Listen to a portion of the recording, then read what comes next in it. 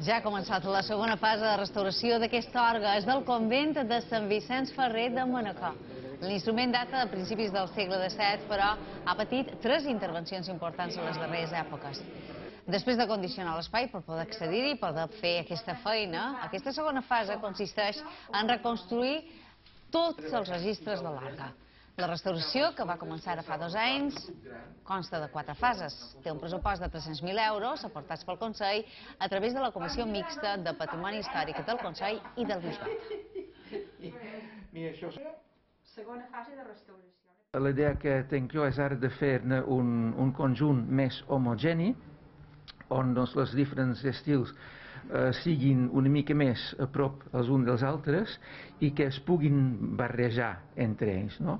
I sobretot que l'orga sigui accessible. És molt important aquesta col·laboració perquè el Bisbat eh, és gran eh, tenidor de patrimoni de la nostra illa, és un patrimoni col·lectiu, cadascuna de, les esglésies, cadascuna eh, d'aquests òrgans, per exemple, se'ls assenten els ciutadans i ciutadanes de Mallorca, en aquest cas els manacorins i manacorines senten aquest, aquest òrgan com a seu.